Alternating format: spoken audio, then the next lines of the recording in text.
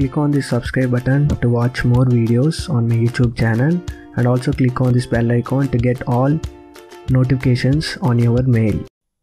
Hi friends, in this video I'm going to explain the bring text to front operation on the draw order already explained the bring to front and send to back and the bring above objects and under objects uh, and let's get started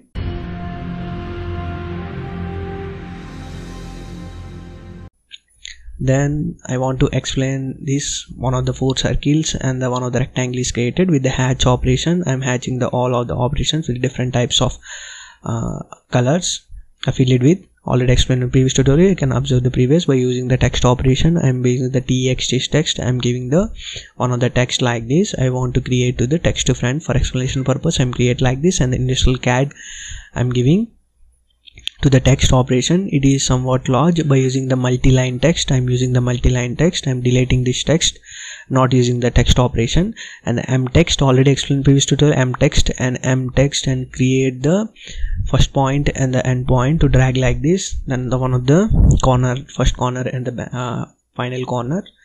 Then i want to change the size to 28 point something. I'm giving the text to industrial cad tutorials.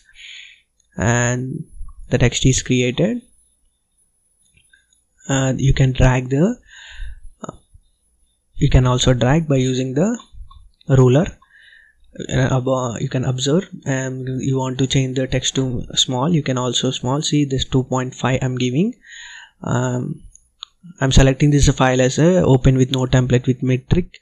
I'm selecting the metric op this is the metric uh, file and industrial CAD tutorials. I'm selecting this. You want to change the text height. You can also use by using the operations you can change the text height on the simply double click on the text. Then the editing text operations will observe the bold italic some of the operations or do you want to create the bullets like this? You can observe on the screen. And industrial CAD tutorials.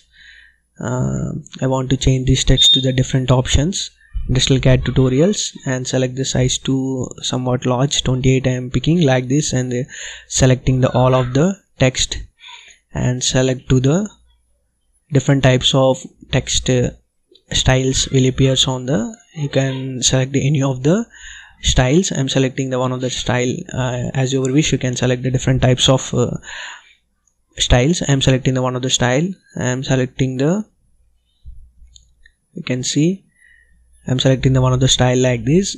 I will show you how to bring the text in which type of uh, situations you can bring the text uh, to front and bring to text to front by using the copy already created this object and simply copy this object to the what you created the text before. I am selecting the all of the circle and copied and copied to the middle of the text see the text is not appeared. Somewhat is not appeared some is appearing. It is covered with the uh, what I created the previous object. It is created. I want to bring the text to the front simply go on to the modify and select the bring text to front and select the text and click on enter. Uh, simply you can observe the industrial CAD tutorials. Like this you can text is appears on the front and the objects are sent to back by using the bring to text operations. Already explained the bring to front and the bring to back and the under objects and the above objects in my previous tutorials. And simply i'm giving the small rectangles like by using the rectangle operations i'm giving this. Now the file is created i am giving the hatch operation and selecting the pattern.